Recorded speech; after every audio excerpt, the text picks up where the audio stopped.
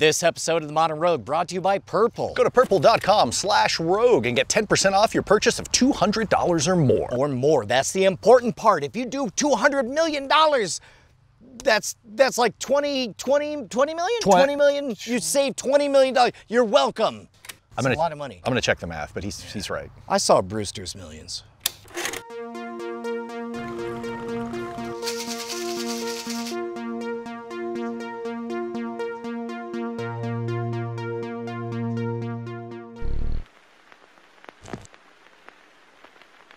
We are at Still Austin, a local distillery right here in Austin, Texas. We just found out, to my amazement, that whiskey and gin are basically kissing cousins. They're siblings that went off to different finishing schools, and now we're in the tasting room. And I have to assume, if you go through all the effort of creating your own brand of gin, when you get to this experience, yes, I'm sure some people want to taste it neat, but gin strikes me as much more often being used in cocktails of various varieties. Is that mm-hmm. right? Definitely. So, do you have a particular favorite cocktail that you like to put together for somebody who's maybe a gin noob that just went through the experience? Totally. We like to play around with original cocktails here, but at the same time, we like to reintroduce some of the classics. So, one of our house favorites we like to do here is called the Bee's Knees. The Bee's Knees kind of has a fun little history. It goes way back to Prohibition era America. People were making bathtub gin, right? Stuff's a little bit harsh, so they kind of had to find a way to make this stuff a little more drinkable. They So this, this is one where we're actively trying to hide the gin profile. Exactly.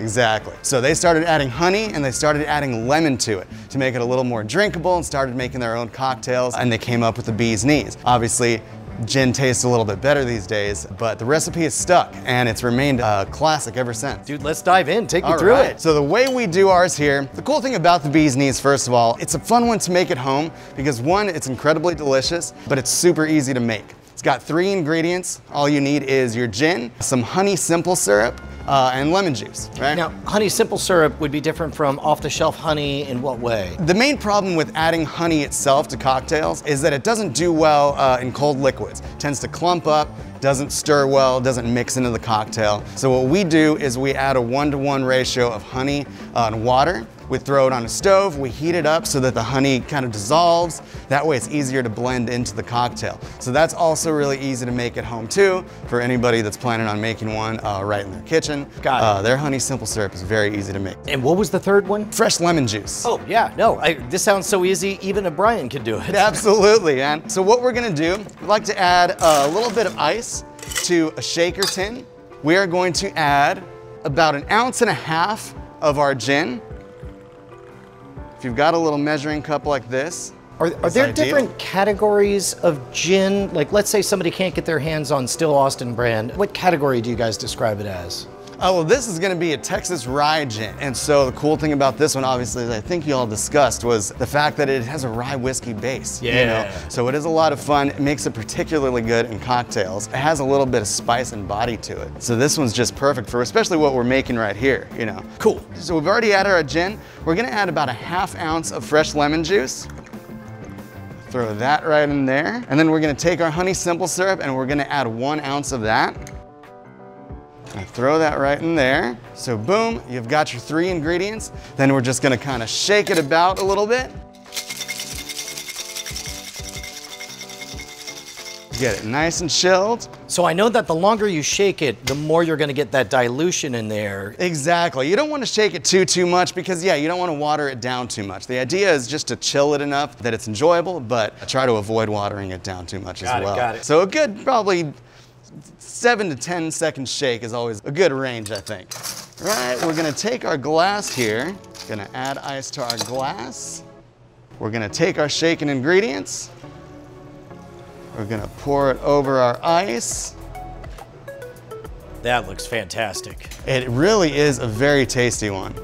We're gonna add a little lemon wheel like that, and you've got your bee's knees. Man, I feel like that went the wrong direction. Hold on. Yeah. Let, let me, let me fix things here. There All you go. Yeah. So on, on the nose, you could definitely detect that, yep, hello, it's me, Jen, your old mm-hmm. friend. totally.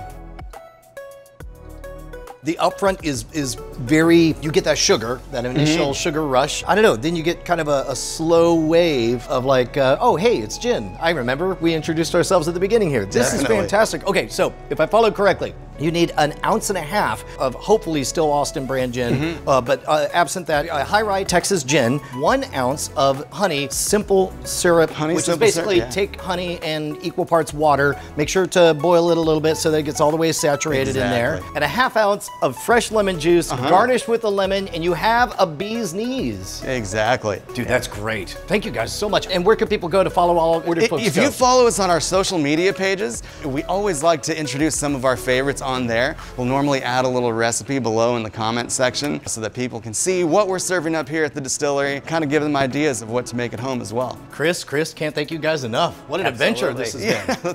Thanks But- for being here. Yeah, absolutely. Thanks for coming to visit us. I want to be very clear. I'm nothing but happy that Purple is supporting our show. Yeah. I am nothing but happy to finally be experiencing whatever the grid is and whatever magic with Purple mattresses is happening. But I have been hearing about it nonstop from everybody in my family. Really? Yes, they- they're constantly talking about I want a purple mattress. I'm like, you've never seen one. And they're like, but they're awesome. And I was like, how do you even know? You're They like, clutch your arm and bring Brian the grid. yes, The grid. yes, yes. Oh, this will be our unboxing. this is our moment. This is the pillow. Yes. So they make mattresses and pillows. Says here, congrats, you've just upgraded. Whoa. That's- Are you okay? No, Did it shock you? No, just touch. Oh, Right? that feels. It feels like advanced technology Yeah. that breathes. It's not doing the memory foam thing. Yeah. It's not doing the bundled up pile of dirty t-shirts thing that I often sleep on. I'm gonna bet that officially we're not able to claim that the Vision sleeps on this pillow, but it is hexagonal. If androids required sleep. Uh, and they dream of electric sheep. That's right. They definitely sleep on a grid. I'm gonna lay down on yours. Here we go. Just, I need every word. Okay. Oh, just the right amount of resistance. There's air that flows through the grid. Yes. It doesn't get caught in there. It doesn't turn into this. It boiling- breathes. It breathes, yeah. Yeah. And it's not like I thought maybe the grid would fart. It's not farting. Uh, okay, okay, man, that took a weird left turn. It's. I mean, if you squeeze it, I thought if there's air. Here's No, what no, I do know is that, that if you go to purple.com slash rogue, you can get 10% off any order of $200 or more, whether that's on pillows or the actual mattress. Oh my God, now I understand. Dude, it's oh, good. My family's gonna lose their mind. I mean, 100% risk-free, money-back guarantee. It, it looks like it's from the future. I, purple.com slash rogue. I'm just gonna cozy up. Okay. Purple.com uh, slash rogue, 10% off an order of $200 or more. Or more, or more. It's good, right? Yeah.